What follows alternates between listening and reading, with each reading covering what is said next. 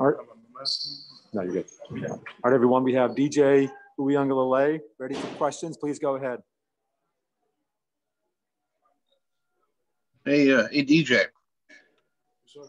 Hey, Chris Idem from Hermiston Radio in Baltimore. Uh, just talk about playing in a primetime game in a great stadium like uh, Notre Dame Stadium. And uh, I know you guys it didn't come out the best outcome, but just talk about your performance.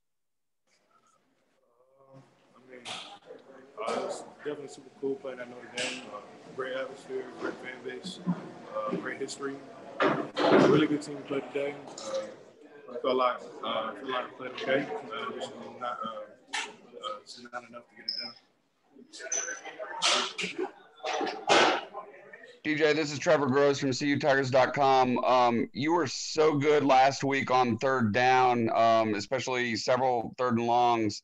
Um, I think you were nine for ten on third third and long last week, but um, it really struggled today. Five of fourteen on third down, two of six on third and short. What what do you think made it so difficult for you?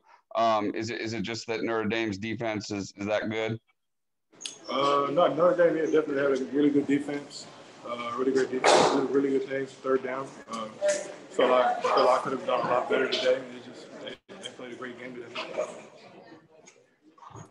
DJ, this is Matt with Dennis this. Todd from CBS Sports. Um, I, when you guys scored to finally take the lead there at three and a half minutes left, how how good did you feel about that? You'd come from behind all day.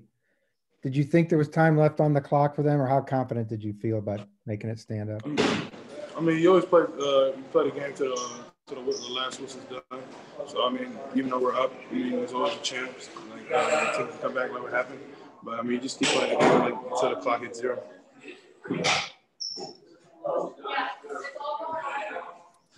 DJ, this is Matt uh, with the state. Can you take me through this that last drive in the, in the second overtime, um, just from your perspective, what went wrong on that, that series?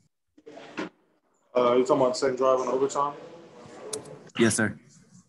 Uh, um, I think I took I took a sack in the red zone. I think that's one big thing. Uh, I can't do that.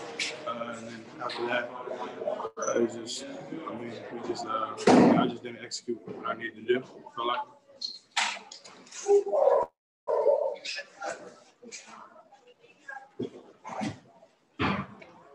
Any other questions for DJ? DJ, it's Trevor again. How, how did you feel just about your overall accuracy tonight? Uh, I feel like it was, I feel like it was good for some parts. Um, I I don't know what I threw for, but there's definitely throws that I missed out there that uh, I should have made. But I mean, it is what it is. Can't go back now, so you just gotta move on. You just gotta go watch film, which learn from the mistakes. DJ, from your perspective, uh, what did you see in the running game, and uh, what was difficult about really getting that going throughout the game tonight? Uh, I mean, Notre Dame. I mean, hats off to them. They have a really great defense. Uh, they had a really good scheme coming into the game, and they just did a really good job uh, stopping the run. Uh, so they just did a good job. I don't know. They just, but they had a really good defense. Hats off to them.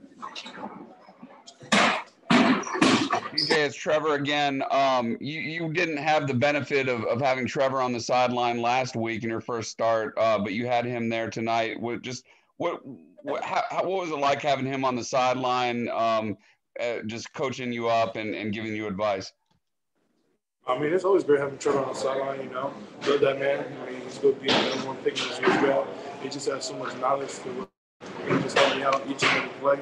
Uh, just tell me different stuff like that. He's been through it. I mean, he's going to be a pro. So, I mean, it's just great having him on the sideline.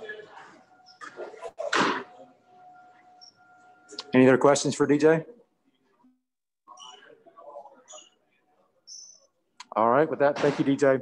Thanks, DJ.